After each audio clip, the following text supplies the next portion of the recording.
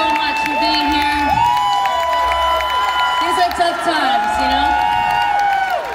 And it's really, really nice to be playing with the band again. As scary as it fucking is to do this, you know? We love you. Thank you so much. This last song, I'm gonna bring out one of my favorite singers.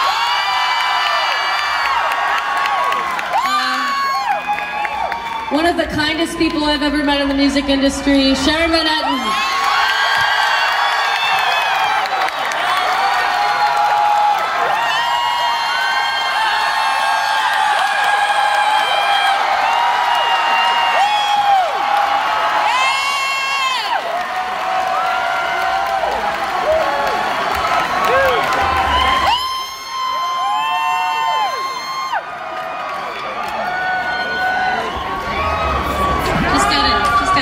A.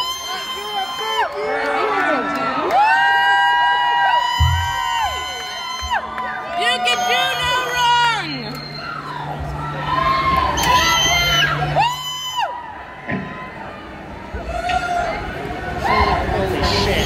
Thank you again.